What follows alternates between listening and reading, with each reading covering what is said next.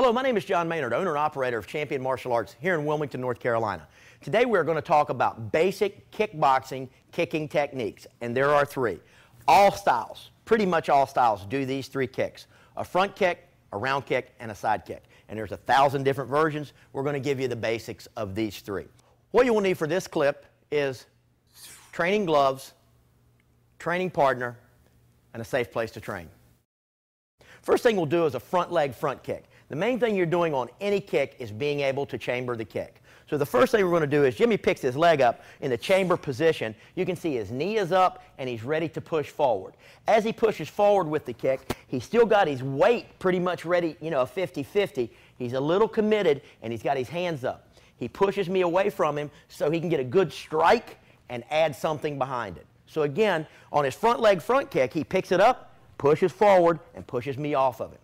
That's a basic front leg front kick. Knee up, good chamber, push forward, and you got to remember to get your toes back because everybody that's ever used a front kick before has injured a toe or broken a toe. And if you haven't, you're probably going to.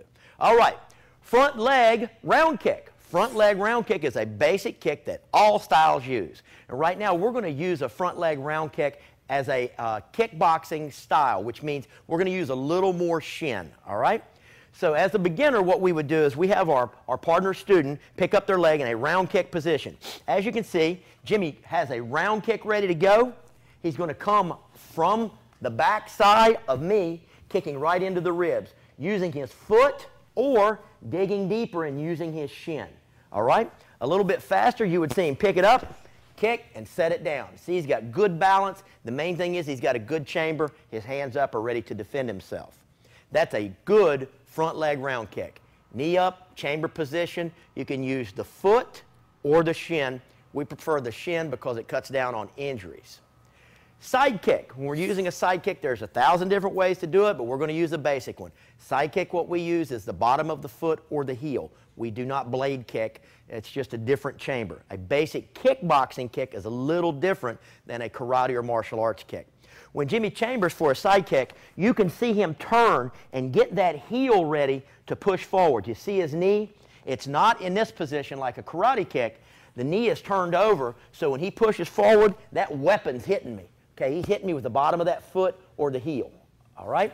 Good chamber, knee back and pushes forward. He picks up and bangs me with the bottom of his foot. Look at the difference. If he does it as a blade kick, it looks a lot different, okay? The blade kick kind of flips out. The kickboxing kick goes straight forward into your target using the bottom of your foot.